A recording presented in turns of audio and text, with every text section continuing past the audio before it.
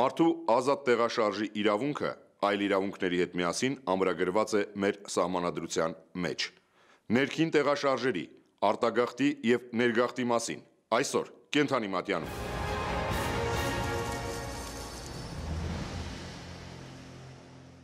Այսօր մեր հաղորդման հյուրերն են՝ Ռուբեն Եգանյան, ժողովրդագիր, Գարիկ Հայրապետյան, ՄԱԿ-ի բնակչության հիմնադրամի գործադիր ներկայացուցիչ, Վարդան Գևորգյան, անկախ փորձագետ, սոցիոլոգ, Իրինա Դավթյան, ՀՀ տարածքային կառավարման նախարարության միգրացիոն պետական ծառայության պետի տեղակալ. ԵՒ Արմեն Գալստյան, Մարդկային զարգացման միջազգային կենտրոն հասարակական կազմակերպության գործադիր տնօրեն: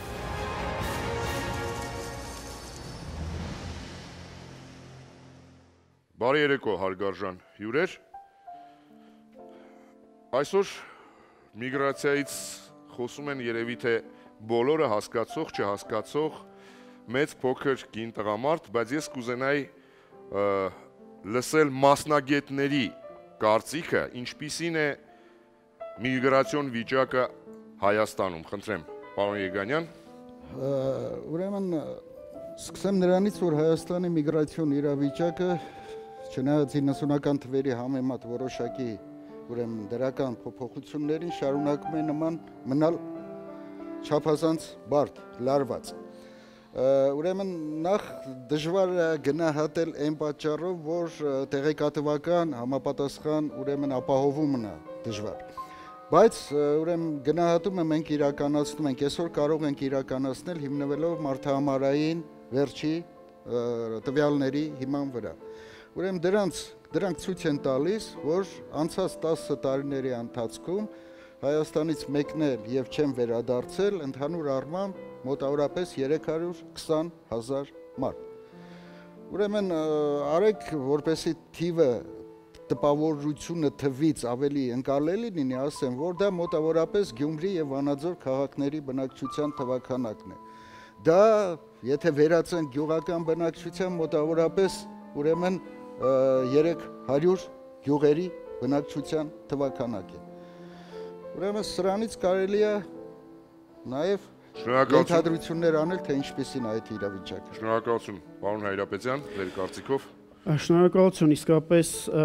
խնդիրը մտահոգիչ է, խնդիրը գոյություն ունի և պարոն Եգանյանը արդեն թվերով ներկայացրեց և ամենաերկու կարևոր խնդիրները իմ համար կապված այս հարցի հետ հետևյալն են, որ ցավոք սրտի մենք այսօր չունենք վստահելի տվյալներ այս գոյություն ունեցող խնդրի մասին, ունենք միայն թվեր, բայց որակական ով է գնում, երբ է գնում, ինչի է գնում, ինչ տարիքի, ինչ սեռի, ինչ կրթության, ինչ մասնագիտության չունենք: Իսկ չունենալով սա բնականաբար քայլեր ձեռնարկել ճիշտ ուղղությամբ այս խնդրի լուծման համար դժվար է: Եվ երկրորդը, ինչը ևս բավականին լուրջ խնդիր է հարուցում Հայաստանի համար, կարծում եմ դրա ազդեցությունն է, միգրացիոն հոսքերի ազդեցությունն է ժողովրդագրական ազգաբնակության կառուցվածքի վրա: Շնորհակալություն: Պարոն Գևորգյան: Ես միգրացիոն ներկա իրավիճակը կգնահատեի խիստ տագնապահարույց այն աստիճան, որ այն սպառնում է մեր ազգային անվտանգությանը և որպեսզի հայտարարությունս կամ գնահատականս մերկապարանոց չհնչեր, մի քանի ցուցանիշներ բերեմ դրա հաստատող: Համաշխարհային բանկի և Միգրացիայի միջազգային կազմակերպության 2008թ. հետազոտության հիման վրա Հայաստանը Արևելյան Եվրոպայի, Եվրամիությանը հարևան 6 երկրների թվում, այդ թվում Վրաստան, Մոլդովա, Բելառուս, Ադրբեջան, Ուկրաինա ամենամեծ բնակչության կորուստներն է տվել իր բնակչության թվի համեմատ, մասնավորապես Հայաստանի Հանրապետությունը մինչև 2008 թիվը անկախությունից հետո կորցրել է իր բնակչության 28.2 տոկոսը: Համեմատության համար ասեմ, որ Վրաստանը այդ ուղղությամբ կորցրել է 25.1 տոկոսը, Մոլդովան 21.5 տոկոսը, Բելառուսը 18.6 տոկոս, Ադրբեջանը 16 տոկոս, Ուկրաինան 14.4 տոկոս: Եվ եթե մինչև 2008 թիվը այդքան ենք կորցրել, ապա 2008-ից հետո էլ առանձնապես վիճակը չի բարելավվել, միայն վերջին 5 տարիների ընթացքում չհաշված 13 թվականի երկու ամիսների արդյունքները մենք սահմանային ուղևորափոխադրումների համակարգի հաշվարկներով անվերադարձ Հայաստանից հեռացել է ավելի քան 180 հազար մարդ: Այսինքն մոտ բնակչության փաստացի թվի 15 և ավելի տոկոս: Շնորհակալություն, մենք կվերադառնանք դեռ այս խնդիրներին։ Տիկին բոլորը պատասխանեն, հետո կվերադառնանք։ Տիկին Դավթյան Շնորհակալություն։ Ես կուզենայի այս առումով ասել հետեւյալը, որ Հայաստանում, երբ որ խոսում ենք միգրացիայի մասին, դա ասոցիացվում է առաջին հերթին արտագաղթի հետ։ Պատահական չի, որ այ այսօր մեր հարգելի փորձագետներն էլ հենց այդ թեմայից սկսեցին, ինչը հասկանալի է, քանի որ մենք ունենք այդ խնդիրը եւ անշուշտ դա մարտահրավեր է մեր պետության համար։ Ուղղակի կուզենայի նշել, որ միգրացիան դա միայն արտագաղթը չէ, միգրացիոն հոսքերը շատ բազմազան են, այստեղ կան փախստականներ, ապաստան հայցողներ, աշխատանքային միգրանտներ եւ վերջապես շատ կարեւոր է նաեւ այդ ասպեկտով հասարակությանը տեղեկացնել, որ միգրացիան միայն բացասական հետևանքներ չունի։ Միգրացիա եւ զարգացում կապը Այդ մասին մեր մոտ շատ քիչ է խոսվում ցավոք սրտի։ Առայժմ այսքանը։ Խոսենք այսօր Ինդասյան։ Լսում եք ձեզ։ Մեր փորձագետները, մեր մասնագետները իհարկե ներկայացրեցին խնդիրները եւ որոշակի թվային տվյալներ բերեցին եւ կարծում եմ հետագայում մենք դեռ առիթ կունենանք խոսելու թվային տվյալների մասին։ Ես կուզեի մի որակական էլ տարի մասին խոսել, որը նույնպես իր կարևոր ազդեցությունն է թողնում այսօրվա մեր միգրացիոն իրավիճակի վրա, ցավոք սրտի բարդ իրավիճակի վրա, ինչպես ներկայացրեցին։ Այսօր չնայած թե պետական մարմինների կողմից, թե բազմաթիվ հասարակական ու միջազգային կազմակերպությունների կողմից բազմաթիվ ծրագրեր են իրականացվում, հատկապես հասարակությանը տեղեկացնելու իր նպատակով, բայց միևնույն է այսօրվա մեր միգրացիոն իրավիճակի վրա մեծ ազդեցություն է լինում ունենում հասարակության թեր տեղեկացվածությունը կամ ավելի շուտ հասարակության անվստահությունը թե տեղեկատվության նկատմամբ եւ թե այն մարմինների նկատմամբ կամ այն կազմակերպությունների նկատմամբ ովքեր այդ տեղեկատվությունը տալիս են այո ես ուզում եմ նաեւ մեր կազմակերպությանը այդ այդ այդ մարմինների այդ կազմակերպությունների մեջ նշեմ որտեղ մենք այսօր դեռ խնդիր ունենք հասարակությանը համոզելու որ այն ինչ որ մատուցվում է դա իր մեջ ռացիոնալ եւ ճիշտ հատիկ է բառնակում Շնորհակալություն, պարոն Եգանյան։ Խորհրդային միությունը ինքը իրենով այդ երկաթյա վարակույրով անջատված էր աշխարից եւ եթե անգամ մենք շարժունակություն էր դիտվում, դիտվում էր խորհրդային միության սահմաններում, այն էլ ոչ այդ աստիճանի, ես կարծում եմ, թեև ես թվեր չունեմ միգուցե դուք կասեք։ Այ ո՞րն է այդ այսօր շարժունակության իրական պատկերը։ Խորհրդային տարիներին, հա, մենք շարժունակություն քիչ ունեինք։ Ուրեմն մինչև 80-ական թվերը մենք դրական միգրացիոն մնացորդով էինք զարգանում։ Տարեկան ունենում էինք մոտավորապես 10-12000 ուրեմն դրական մնացորդ, ընդ որում դա հայերի ներոսկներ հիմնականում Ադրբեջանի եւ վրացաբնակ հայերի ներոսկներ Հայաստան եւ ունեինք այդ տարիներ 80-ական թվերի սկզբից իրավիճակը փոխվեց մի քիչ մեր զարգացման տեմպերը մի քիչ նվազեցին սովետական Հայաստանի դրա պատճառով սկսվեց որոշակի արտահոսք բնակչության մոտավորապես տարեկան 10000 80-ական թվերին մենք ունենում էինք արտահոսք։ Բայց դրա մի մասը երևույթական էր կապված միգրացիոն մի այլ երևույթի հետ, այսպես կոչված աշխատանքային կամ սեզոնային աշխատանքային միգրացիայի հետ։ Այդ տարիներին մենք ունեինք այդ երևույթը մեր աշխատուժի ավելցուկ ունեցող շրջանների տղամարդ բնակչությունը գնում է Ռուսաստան, Ղազախստան եւ այլ տեղեր սեզոնային աշխատանքների։ Բայց չէ որ դե նույն Խոպանի պատմությունը դեռ 50-ականներից էր գալի։ Ну 50-ականներից, 60-ականներից ավելի շուտ։ Ну 60-ականներից Խրուշովի այդ Ցիլինայից հետո սկսեց։ 60-ականներից էր գալի, բայց առանձնահատուկ զարգացում ստացավ 80-ական թվերին, երբ որ մեր բնակչությունից մոտավորապես 30-ից 40 հազար մարդ տարեկան մեկնում էր այդ աշխատանքի գալիս էին Դա ընդհանուր այսօրվա միգրացիայի հետ դա ընդհանուր բնույթներ, եզրեր ունի, բայց իր հետևանքների ազդեցության առումով միանշանակ այլ է։ Դրանց հաշվին ուրեմն մեր գյուղերի մի սկայական մասերում հիմական որ գնում ես տեսնում ես տներ երկհարգանի կառուցված դրանց շնորհիվ է։ Դա բարգավաճման ուրեմն ռազմավարություն էր։ Դա թույլ էր տալիս մարդկանց իր կենսամակարդակը բարձրացնել միջինից շատ բարձր եւ իր սոցիալական կարիքները, երեխաների կրթություն, առողջական խնդիրներ, բնակարանային կենցաղային խնդիրներ եւ այլ եւ այլ։ Այսօր կատարվում է գործնականում նույն երևույթը, էլի արտագնա սեզոնային աշխատանքի երևույթը, դրան զուգահեռ ուրեմն տևական միգրացիայի, աշխատանքային միգրացիայի երևույթ կա, բայց այսօր այդ երևույթները իրենց բնույթով գոյատևման, ընդամենը գոյատևման ռազմավարություն են։ Ընդամենը ապահովում են, որ այդ մարդիկ քիչ թե շատ ուրեմն կարողանան իրենց ընտանիքի գոյությունը պահպանել։ Եվ ռիսկերը այն ժամանակ է կային ռիսկեր, տարբեր բնույթի ռիսկեր, առողջական բնույթի, ասիմ կապված այլ-այլ բնույթների։ Այսօր այդ ռիսկերը անգամներով բարձրացել են։ Ուրեմն այնպիսի երևույթ կա, բոլորը գիտեք, տրաֆինգի կոչվեց երևույթը, որին շատ ենթակա են այդ մեր աշխատանքային միգրանտները, որոնց ծավալները ընդ որում արդեն բազմապատկվել է։ կան ազգային փոքրամասնություններին վերաբերմունքը եւ այլն եւ այլն։ Շնորհակալություն պարոն Հայրապետյան։ Ահա մենք լսեցինք, որ այն ժամանակ կար այսօր էլ սոցիալականի համար են գնում, բայց արդեն ոչ թե պարզապես կենսամակարդակ բարձրացնելու, այլ գոյություն պահպանելու։ Պահպանելու, բայց այնուամենայնիվ կա նաև վերադարձի, չէ՞։ Այդ դեպքում ո՞րն է վերադարձի պատճառը։ Կարծում եմ, որ վերադարձի մասին լուրջ թվերով կամ լուրջ ծավալների մասին խոսելը այդքան էլ տեղին չի, եթե մենք չենք խոսում ցիկլիկ միգրացիայի մասին, այսինքն ժամանակավոր աշխատանքային միգրանտները, ովքեր որ գնում են Գառնանը եւ վերադառնում են ձմեռվա մոտ, այնպես որ այս մասը կարծում եմ որ չգիտեմ ինչքանով արժի քննարկել շատ փոքր են այդ ծավալները որ մարդիկ վերադառնում են որպես այդպեսի իմիգրացիա, որպես այդպեսին մենք շատ փոքր ծավալներ համաձայն եմ, բայց ես էլ դուք էլ գիտենք, որ հաստատ կան, հա։ կա ուսումնասիրություն, իսկ ինչու են հետ գալիս։ Ես բացման խոսքի մեջ, բացմանս խոսքի մեջ փորձեցի այդ հարցը մի քիչ ուրեմն առաջ բերել ցավոք սրտի մենք շատ քիչ հետազոտություններ ունենք ընդհանրապես միգրացիայի ոլորտում Հայաստանի վերաբերյալ եւ մի հետազոտություն, որը իրականացվեց 2007 թվականին, այնտեղ մենք փորձեցինք հասկանալ նաև վերադարձածների նպատակները եւ այլն։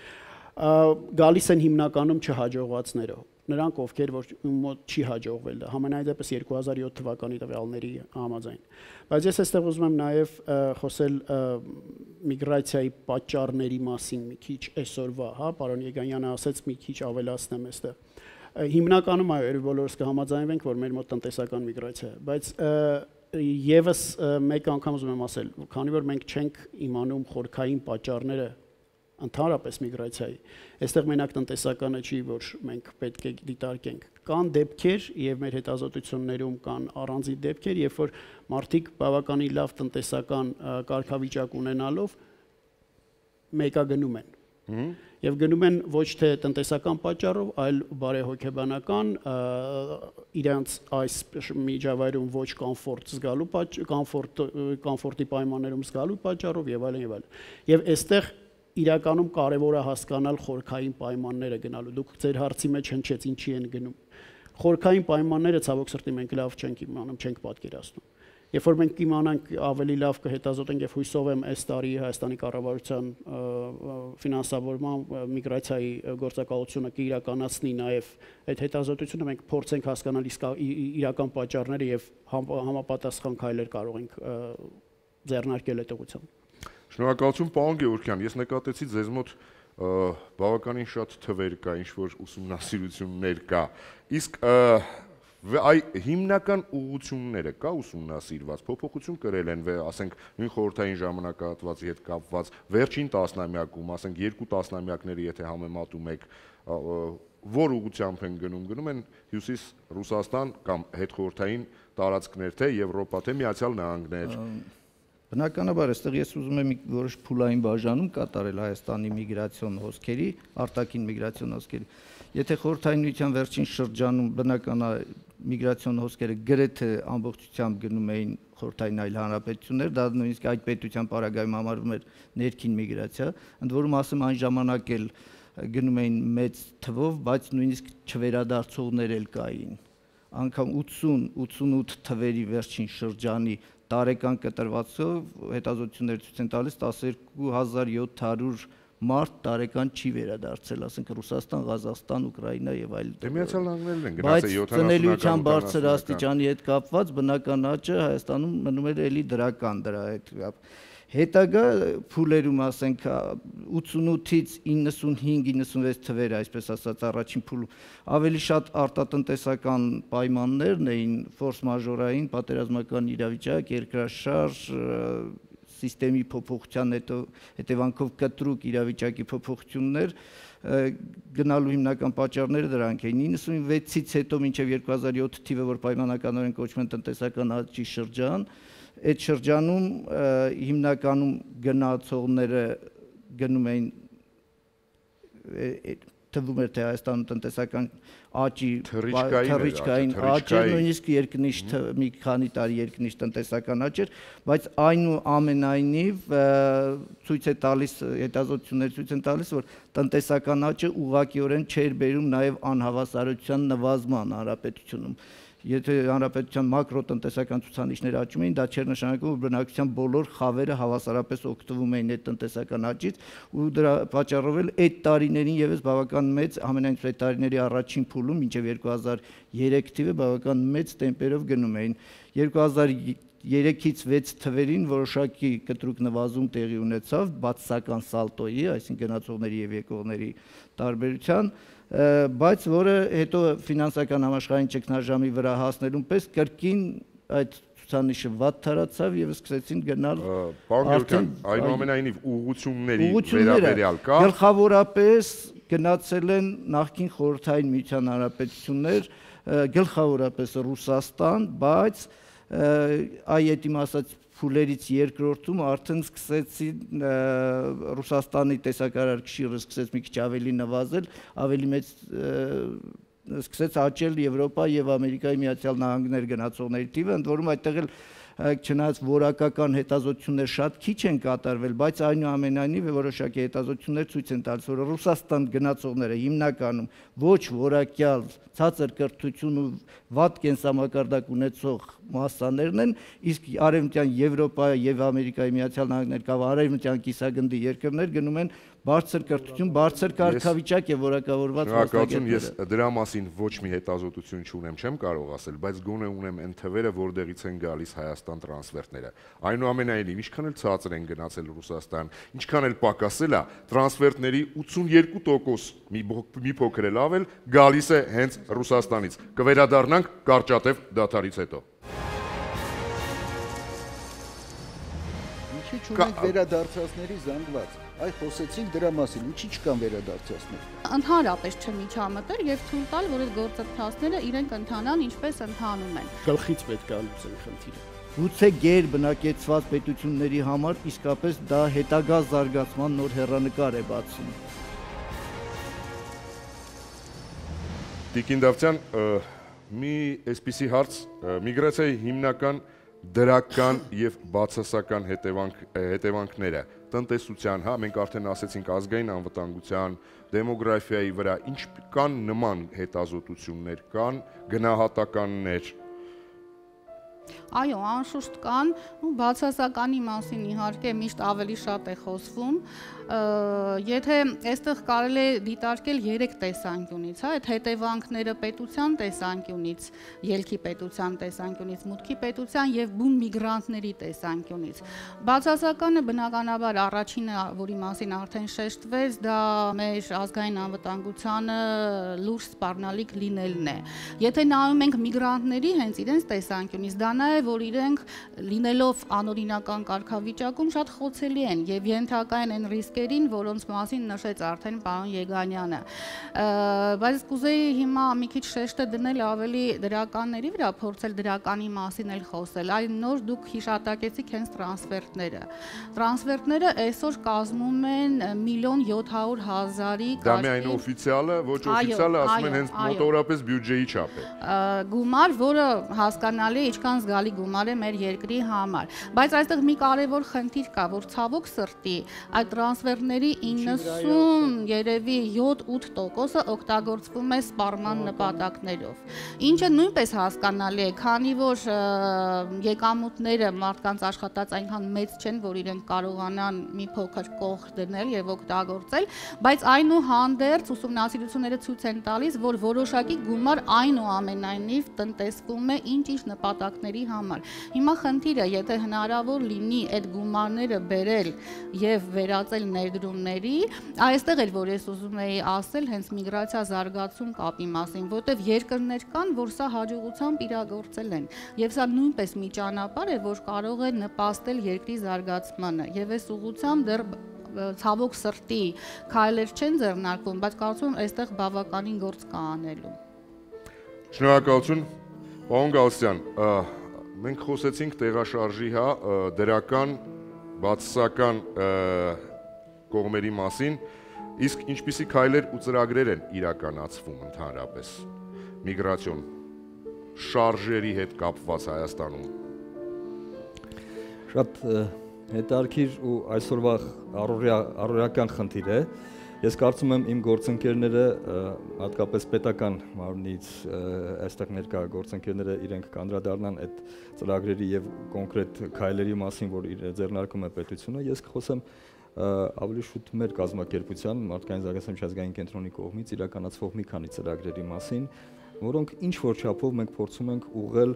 դեպի ուրեմն այդ միգրացիայի հետևանքների մեղմացմանը մեր պատկերացմամբ, հա, եւ ես փորձեմ տարանջատել մի քանի այսպես ոլորտների կամ մի քանի ուրեմն աշճանների դնեմ։ Նախ մենք ձեռնարկում ենք քայլեր, որպեսզի միգրացիան տեղի ունենա տեղեկացված, հա, այսինքն փորձենք ինչ որ միջոցներով ազդել կանխարգելել այն չտեղեկացված եւ այն միգրացիան, որի վերջո գնում հանգում է ուրեմն եւ դառնում է անկանոն միգրացիա։ Մարդիկ գնում չիմանալով գնում հայտնվում են օտար երկրներում եւ հատկապես այնպիսի երկրներում, որոնք կեցության կամ ապրուստի բավական պայմաններ չեն ապահովում, օրինակ եվրոպական երկրներում, հա, գնում են եւ այնտեղ հայտ հայտնվում են շատ բարդ իրավիճակներում։ Ես տեսել եմ իմ աչքով։ Այո, Եմիջայլոց։ Ես էլ բազմաթիվ տեղերեմ եմ եղել եւ այդ այդ այդ առումով այդ մարդկանց հետ շփումների Ես կարող եմ ասել, որ այդ հաստատ այն պատմությունն է, որ ասում է դրսից ուրիշի աչքն են հանում, ներսից իրենց։ Այո, այո։ Եվ այս առումով մեր կազմակերպությունը ու հասարակական կազմակերպությունը եւ նաեւ միջազգային կազմակերպությունները մեծ գործ են մեծ գործ են իրականացնում տեղեկացնելու համար։ Մենք օրինակ խնդրեմ հերոստահաղորդումներ ենք նախապատրաստում կամ համագործակցում ենք հերոստա ընկերությունների հետ նման ուրեմն տեղեկատվական արշավներ կազմակերպելու համար տպագրում ենք համապատասխան ուրեմն բուկլետներ, որտեղ ներկայացնում ենք հանրապետությունում արկա թեկուզ եւ փոքր հնարավորությունները, որոնցից կարող են մեր ուրեմն համակարգացները օգտվել եւ մինչեւ այդ չտեղեկացված որոշումը կայացնելը գոնե մի հատ մտածեն, տեղեկանան, մտածեն դրա մասին։ Շատ լավ է որ դա փաստորեն պրոֆիլակտիկ է ավելի շատ հայաստանցիների համար։ Իսկ արդեն գնացածների հետ, որոնք այդ ծանր վիճակում են, ինչ որ աշխատանք կատարվում է։ Արդեն գնացածների հետ ուրեմն ունենք մի կայք, հա, վերադարձ կոչվում է, վերադարձ AM կամ back to armenia.com կայք, որը շատ լավ գործիք է Եվրոպայում եւ ընդհանրապես արտասահմանում գտնվող մեր հայրենակիցներին հնարավորություն է տալիս իր խնդիրները բարձրացնել եւ ստանալ որոշակի եւ կոնկրետ պատասխաններ ոչ միայն հասարակական ու այդ գործընթաց ու այդ գործով զբաղվող մասնավոր կազմակերպությունից, այլ նաև կոնկրետ պատասխաններ ստանալ պետական մարմիններից։ Հարգելի հերոստատիտողներ, բոլոր շահագրգիռ անձանց հա, կայք հասցեները հիմա դուք տեսնում եք ձեր հեռուստաէկրաններին։ Շնորհակալություն։ Նաև մենք որոշակի աշխատանքներ ենք նայում նաև պետական մարմիններին օժանդակություն ցուցաբերելով տեխնիկական եւ էքսպերտային փորձագիտական օժանդակություն ցուցաբերելով, որովհետեւ ինչ որ կերպ փորձենք այլընտրանք առաջադրենք ուրեմն մեր քաղաքացիներին միգրացիա անկանոն միգրացիայի եւ այն միգրացիայի, որը վերջում իրենց պիտի բերի որոշակի զարգացում, հա, կոնկրետ զարգացում։ Եվ այդ օժանդակությունը կայանում է ինչ որ իրավական ակտերի մշակման մեջ, ինչ որ նոր ապահովագրական ու ինչ որ հնարավորություն տվող սխեմաների մեջ, որոնք կարող են մեր հայրենական կազմակերպությունները առաջարկել մեր միգրանտներին եւ դրանով որոշակի հոգացություն ցուցաբերել արտասահմանում գտնվող մեր հայրենակիցներին ու դրանով կապելով ճակերտների մեջ եմ ասում, կապելով նրանց ոտքը մեր հայրենիքի հետ։ Շնորհակալություն, այդ հոգացության մասին կուզենայի խոսել պարոն Եգանյան։ Մի այսպեսի հարց իմ մոտ ցակեց, որը ես շատ եմ լսել, ես չգիտեմ դա իրականության է, բայց որ երբ խոսում են արդեն սկսում ես հավատալ, որ նոր գնացած միգրանտները, ես նկատի ունեմ, եւ Սփյուռքի մեր գաղթօջախների մեջ կա խնդիր։ Զբաղվում են արդյոք մեր դեսպանատները Սփյուռքի նախարարությունը, հա կապը ստեղծում են, որպիսի փոխանակ դա լինի խնդրեմ, դա դառնա ավելի սահուն ոչ միայն նրա համար, որ այդ գնացածները մնան ու այնտեղ իրենց լավը զգան, ամենևին, պարզապես աշխատ աշխատվի նաև այն ուղղությամբ, որ ինչ որ հող ստեղծվի հետ գալու համար, ես հասկանում եմ, հետ գալը հենց այնպես չի լինում։ Բայց այնուամենայնիվ Ուրեմն նախ ասեմ, որ երևի ցանկալի կլիներ, որ այդ հարցին պատասխանեին նույն Սփյուռքի նախարարության ներկայացուցիչները։ Ես հասկանում եմ, ես հասկանում եմ պարզապես որպես մասնագետի ընկալումների հետ կարող եմ ընկալումներով կարող եմ ձեզ հետ կիսվել։ Նույն սկզբնական շրջանում 90-ական թվերի կեսերից հետո ուրեմն այդ հակամարտությունը, ուրեմն հին Սփյուռք, նոր Սփյուռք, կարծես թե կար բավական ընդգծված բնույթ ուներ համարվում էր, որ անկախ երկրից նո հին սփյուռքի ներկայացուցիչների մանավանդ արևմտյան Ռուսաստանի դեպքում դա այնքան ընդգծված չէր առավելապես արևմտյան երկրներում գտնվող սփյուռքահայերն էին, որ վատ էին վերաբերվում նոր ժամանածներին որպես փախնողներ անկախ երկրից Այսօր այդ հակամարտությունը ինձ թվում է գրեթե գոյություն չունի կամ համենայն դեպս պակաս ընդգծված բնույթ ունի եւ չեմ կարծում թե ինչ որ հատուկ բաների հետևանքով։ Ես հասկացա, պարոն Եգան, ես Տիկին Դավթյանից հարցնեմ որպես այնուամենայնիվ հա կառավարության ներկայացիչ բան ունեի ավելացնելու, եթե թույլ կտաք, ես ուզում եմ խոսել միգրացիա զարգացում այդ թեմատիկայի մասին դրա մասին վերջերս շատ է խոսում եւ ես կարծում եմ որ դրա մեջ օբյեկտիվ ուրեմն հիմքեր կան։ Իսկապես միգրացիան կարող է զարգացման որպես գեներատոր հանդես գալ, իմպուլս հանդես գալ։ Սա տեսությունն է։ Տեսականորեն միգրացիան կարող է բերել, ասենք թե բացի դրամական հոսքերից, նաև տեխնոլոգիաների, նաև հմտությունների, կարողությունների ներհոսք եւ ուրեմն նպաստել զարգացման ընթացքի արագացմանը տեսականորեն հիմա գան գործնական հարթության վրա այն նույն տրանսֆերների ներհոսքը դա կախվածությունը ստեղծում մեր էկոնոմիկան հիմա լիակատար կախվածության մեջ է այդ ներհոսքից ես եթե պատկերացնենք ենթադրենք sense մի հատ իրավիճակ որ հանգարց այդ ներհոսքը կտրվում է մեր մոտ խայտարակ իրավիճակ է ստեղծվելու ես չգիտեմ ինչպիսի հիմա գանք նրան թե ոչ միայն է զարգացումը ըստ էության այսօր չի իրագործվում այլև ընդհակառակը միգրացիան հանդես է գալիս որպես զարգացմանը խանգարող խոչընդոտող գործոն։ Պարզ թվեր ասեմ։ Ուրեմն տարեկան մենք կորցրել ենք վերջի 10 տարիների ընթացքում մեր բնակչության 1%-ը, այսինքն սպառողների բազմության սպառողների բազմությունը 1%-ով պակասել է։ Այսինքն մեր արտադրությունը, որ հիմնականում ներքին սպառման համար է, պետք է մեխանիկորեն իր 1% պակասացնի։ Ուրեմն այդպես պակասելով, պակասելով դառնում է փակ շրջանակ պակասացնելու հաշվին աշխատատեղեր ոչ թե ավելանալու են, այլ պակասելու են։ Ուրեմն նայեք ինչա կատարվում։ Շնորհակալություն, պարոն Հայրապետյան։ Հա, պարոն Եգանյանը ասեց տեսականորեն, իհարկե տեսականորեն։ Պրագմատիկ մի քիչ ավելի դաժան է։ Ես հատուկ չնշեցի տեսականորեն, որովհետև եթե հաշվի առնենք այն մենաշնորները, այն օլիգարխների քանակը, որը խոչընդոտում է այն զարգացմանը, որը միգրացիան պետք է բերի, մենք տեսնում ենք, որ լրիվ ընդհակառակ պատկեր ենք ունենում։ Ինչի չունենք վերադարձածների զանգված։ Այ խոսեցինք դրա մասին, ինչի չկան վերադարձածներ։ Որովհետև այն մարդիկ, որոնք ցանկություն ունեն վերադառնալու, չեն կարող ստեղ մրցակցության մեջ մտնել այդ խնդիրները արդեն տարանջատված շուկայի։ Եվ որտեղ է, որ ինստանցիաներում է բարձացում։ Ինչու եթե բարձացվում է լուծում չի գտնում։ Ես կարծում եմ մենք այս հարցով տեղափոխվում ենք ավելի շատ կառավարման ոլորտ երկրի ընդհանրապես եւ ոչ միայն միգրացիայի, որը որ կախված է շատ տարբեր շատ տարբեր ֆակտորներ են ընդգրկվում դրա մեջ։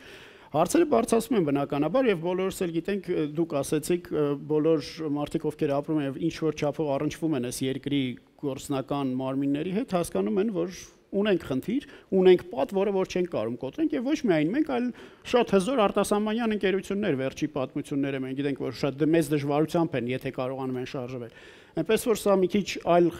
ոլորտի խնդիր է։ Այո, եթե ուզում եք իմանալ, իմ կարծիքը, եթե մենք ուզում ենք խնդիր լուծել, ապա գլխից պետք է լուծենք խնդիրը։ Շնորհակալություն, պարոն Գասյան, լսում ենք ձեզ, իհարկե։ Երկու բան էլ իհարկե հարցեր բարձրացվում են եւ նման հազար նման մի քանի օրինակներ մենք ունեցանք այդ քաղաքացիական ակտիվության դրսևորման խնդիրները, հասարակական կազմակերպությունների մասնակցությունները, բազմաթիվ ուրեմն նման ուրեմն միջոցառումներում, որոնց շնորհիվ ինչ որ հարցեր լուծվեցին, հա, բայց նաև պետք է հաշվի առնել, որ երբ որ մարդը ուղակի գնում է եւ դրսից չի մասնակցում այս process-ներին արդեն դժվարանում է այդ հարցը բարձրացնել ու լուծելը, որտեղ խնդիրը ինքը իր հետ տարավ, հա, դրսից այդքան էլ հեշտ չի ազդել քաղաքական բանի վրա։ Ես կարծում եմ մեզ լսեցին, կայքը գիտեն, հենց կայքում կարող են ստում է թողնել արդեն իրենց առաջարկները, որը հասանելի կլինեն այլ այցել են նաև Ulysses-ը կայքը, այնտեղ բավական հետարքիր ուրեմն հետազոտություններ, բավական հետարքիր նյութեր կան եւ ես ուզում եմ անդրադառնալ ձեր հենց այն հարցին, որ ասացիք հյուպատոսական մարմինները կամ պետական մարմինները մինչև Տիկին Դավթյանին մենք փոխանցենք փոխ խոսքը։ Մեր ծրագրի շրջանակներում այդ Հայաստանում աշխատանքային միգրացիայի գիտավերլուծական կառավարման հզորացում ծրագրում, որ մենք իրականացնում ենք Եվրոպական միության ֆինանսական օժանդակությամբ մենք հենց 10 թվականին իրականացրեցինք մի մեծածավալ հետազոտություն հյուպատոսական մարմինների բացական հիմնարկների գործառույթների ուսումնասիրման ուսումնասիրման նրանց կարիքների գնահատման առումով բազմաթիվ ուրեմն խնդիրներ գտանք այդտեղ բայց կոնկրետ այս պահին ես ուզում եմ նշել հետեւյալը որ նախ միևնույնն է մեր քաղաքացիների մոտ դեռևս չկա վերականգնված չկա վստահություն դեպի այդ մարմինը մի շարք պատճառներով նախկինից եկած այդ վստահությունը նախկինում որտեվ պիտի անպայման գնային գրանցվեն ինչ որ խնդիրներ էր առաջանում հա բայց այդ մեր ուսումնասիրությունը անելուց հետո հպատոսական համակարգ ինքը նաև զուգահեռ բավական փոփոխություն ու զարգացում ապրեց հա եւ հիմա որոշակի այն այն կարիքները, որ մենք բացահայտել ենք, որոշակի այդ կարիքներն արդեն բավարարվում են, հա, ինչ որ ծառայություններ արդեն որոշակի որակով մատուցում են մեր համակարգացներին, բայց այստեղ գալիս է երկրորդ խնդիրը։ Նույն հպատոսական մեր համակարգը ծառայությունների հիմնարկները ունեն մարդկային այն ռեսուրսը, որով կարողանան սպասարկել այդքան թվով քաղաքացիներին լինի դա Ռուսաստանում, թե լինի դա Եվրոպայում։ Եվրոպայում էլ քիչ չեն։ Ու Եվրոպայում հիմնականում այն մարդիկ են, որոնք խնդիրներ ունեն, ու երբ որ մեր համակարգացին մոտենում է հյուպատոսական ու պահանջով ինչ որ մի այսպես հրամայականով իհարկե պետական մարմինը պետք է դրան բանի, բայց ռեալ մարդկային եւ ֆինանսական ռեսուրսների բացակայության պատճառով մեր հետազոտությունը ցույց է տալիս, որ այսօր լիարժեք չի մատուցվում այդ ծառայությունը, որ պետք է մատուցվեր ու ելի մեր մեր հայրենակցի, մեր համակարգացու համար ստեղծել հիմք, որ ինքը զգար իր պետության կողմից հոգացությունը ու վերադարձի մասին մտածելու հնարավորություն տար։ Շնորհակալություն, պարոն Գևորգյան։ Մենք խոսում ենք ընդհանրապես տեղաշարժից, բայց ներհանրապետական տեղաշարժը, ես հասկանում եմ, ամբողջ աշխարհում է գնում ուրբանիզացիա, արդեն քաղաքի բնակչությունը ավելացավ ամբողջ աշխարհում, բայց ինչպես եւ ամեն ինչ է, այդ հարցում էլ հայերը ծայրահեղական են։ Հա, կա Երևան եւ կա Հայաստան։ Եվ ես չգիտեմ, ես ինքս, բան, պարզապես հա, այսպես աչքով, որ տեսնում նայում եմ, տեսնում եմ, որ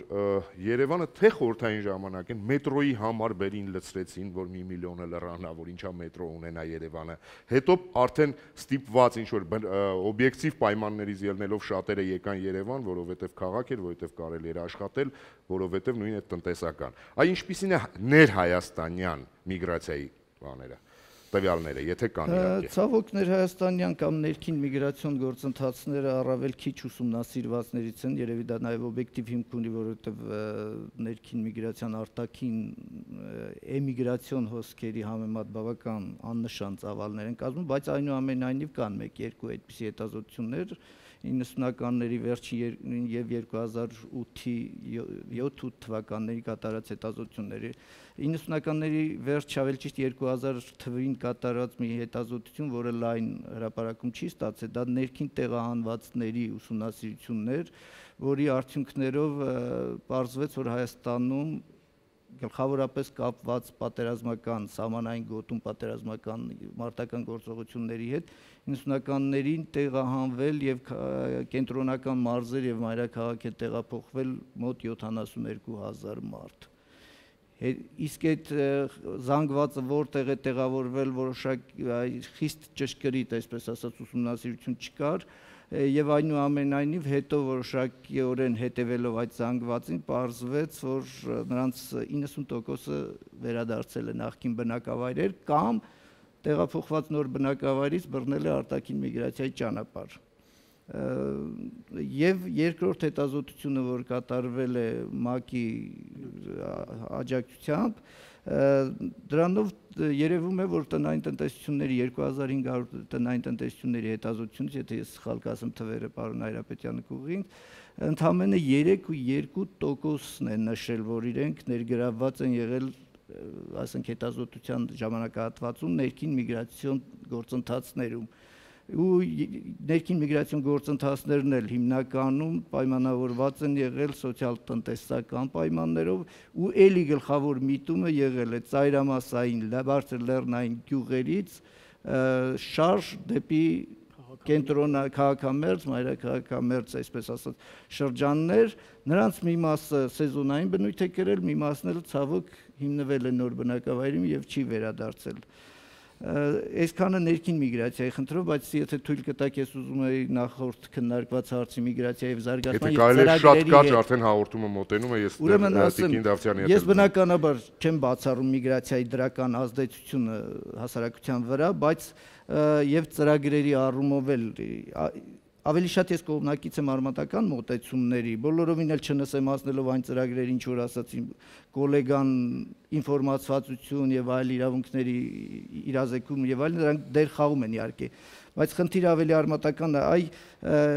արտաքին միգրացիայի կարգավորում քաղաքակիրթ ճանապարհ դրանք շատ հաճախ վերվում է ֆիլիպինների օրինակ չինաստանի օրինակ գուցե գեր բնակեցված պետությունների համար իսկապես դա հետագա զարգացման նոր հերանեկար է բացում բայց մեր համար երբ մենք ունենք նույնիսկ արդեն դեպոպուլյացիայի խնդիր, այսինքն բնակչության մարման խնդիր ունենք, պարոն Եգանյանը, չի թողնի ես սխալվեմ, մենք հույսներս դնենք հիմնականում միգրացիայի քաղաքակիրթ ամենակաղաքակիրթ կարգավորման պարագայում էլ մենք պիտի ավելի շուտ մեր միջոցառումները այդ թվում պետական ծրագրերով, արմատական ծրագրեր ձեռնարկենք կանխելու միգրացիան, այսինքն պոտենցիալ միգրանտին երկրում պահելու, քան Շնորհակալություն, այ հենց այդ հարցով էլ լսենք Տիկին Դավթյանին եւ ավարտենք մեր հաղորդումը։ Ընդհանրապես ինչ է արվում պետական մակարդակով, կառավարական մակարդակով եւ միգրացիայի հատկապես իմիգրանտների, հա, այդ խնդիրները, որ նշեց պարոն Գալստյանը, թե արդեն ասեց շատ բան է արվել, բայց ինչ որ թերություններ դեռ կան, այ ինչ քայլեր է ձեռնարկվում այդ ուղությամբ Տիկին Դավթյան։ Լավ։ Ուրեմն նախ եւ առաջ կուզենայի ասել հետեւյալը. ինչ ինչ կարող է անել պետությունը, ինչ հնարավոր ուրեմն մոդելներ են հնարավոր, հա, միգրացիան կարգավորելու։ Առաջինը մեզ շատ լավ հայտնի է խորհրդային միությունից, դա երկաթե վարակույրներ, սահմանները փակել, արգելել, եւ այդպեսով հարցը լուծել։ Բնականաբար հասկանալի է, որ մեր պարագայում դա իրագործելի չի, ունենք ազատ տեղաշարժի իրավունք եւ այլն։ Հիմա հաջորդ մոտեցումը ընդհանրապես չմիջամտել եւ թույլ տալ, որ այդ գործընթացները իրենք ընթանան ինչպես ընթանում են։ Սա նույնպես ունի իր բացասական հետևանքները, բայց կա մի ուրիշ լուծում։ Եթե օրինակ պարոն Գևորգյանը այդ հարցը, որ մենք հաճախ այդ հարցի շուրջ միշտ վիճապ, այսպես վիճաբանություն ունենում ենք, տեսեք, խոսվում է նրա մասին, որ պետք է կանխել այսինքն կանխարգել էլ հնարավոր ձևերով, որ չլինի արտագաղթ։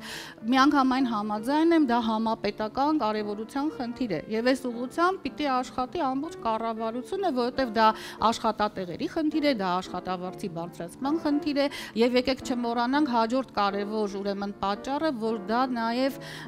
արդեն արտերկրում գտնվող միգրանտների զանգվածն է, որը ինքը ձգող գործոն է եւ շատ հաճախ մարդիկ գնում են, որովհետեւ ցանկանում են միանալ իրենց ընտանիքի անդամներին։ Բայց կարծում եմ չենք կարող շղթել, որ անկախ ամեն ինչից մենք այսօր ունենք աշխատանքային միգրացիոն հոսք։ Ուզում ենք մենք դա թե չենք ուզում լավ է թե վատ է, բայց իրականությունը այդպեսին է։ Հիմա ինչ անել, թույլ տալ, որ այդ մարդիկ լինեն անօրինական վիճակում եւ իրենք իրենցով գնան եւ ենթարկվեն այն բոլոր սպարդալիքներին, որոնց այսօր ենթարկվում են, թե պետությունը փորձի ինչ որ միջոցներով այդ մարդկանց թեվու թիկունք լինել։ Գոնե այս պարագայում, որ իրենց իրավունքները պաշտպանի։ Իսկ դրա ճանապարհը ո՞րն է։ Դրա ճանապարհը նա է, որ պետությունը փորձի միջպետական պայմանագրերի միջոցով իրենց համար օրինական աշխատատեղեր ապահովել եւ մարդիկ կարողանան ժամա եւ այստեղ ինչը կարեւոր է ոչ միայն նա որ իրենք կկարողանան օրինական աշխատել իրավունքները պաշտպանված լինել այլև կդրվի պայման որ իրենք անպայման որոշակի ժամանակ աշխատելուց հետո պետք է վերադառնան կարծում եմ սա շատ կարեւոր է եւ այսօր այս ուղղությամբ քայլեր արվում են շնորհակալություն մեր հաղորդումը ցավոք մոտեցավ ավարտին։ Ես ասեմ մեր հերոստադիտողներին, որ միգրացիան միշտ եղել է։ Դեռ հա 15, 16, 17-րդ դարերում հայերը Կալկաթայում, Լեհաստանում, եվրոպական այլ երկրներում ունեցել են բավականին լուրջ գաղթօջախներ։ Բայց ինչքան էլ միգրացիան լինի լավ, ես բան չունեմ, ես ասելու համաձայն եմ։ Պարոնայք Տիկին Դավթյան, բայց համաձայնվեք, որ այսօր մեզ համար ավելի հաճելի է իմիգրացիան, քան էմիգրացիան։ Շնորհակալություն։